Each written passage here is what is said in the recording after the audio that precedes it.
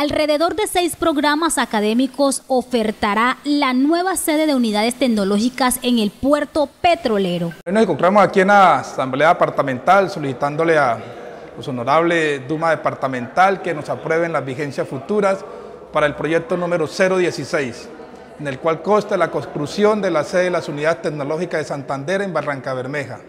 Es una institución que venimos adelantando con un convenio articulado con el gobierno de siempre Santander, con Ecopetrol, la alcaldía de Barranca Bermeja y las unidades tecnológicas de Santander.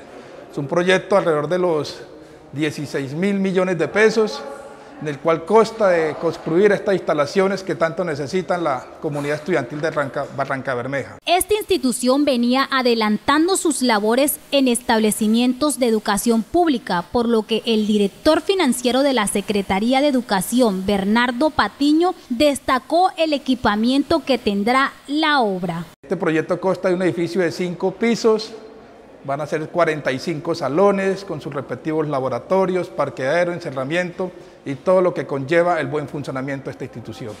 Para nosotros es muy importante el de gobierno siempre Santander, ver que las unidades tecnológicas de Santander puedan contar con una institución propia, así como lo tiene la UNIPAS, como lo tiene la UIS, como lo tiene la UCC, que nuestros estudiantes puedan sentir ese sentido de pertenencia con instituciones propias de esta institución tan importante como es para el Departamento de Santander.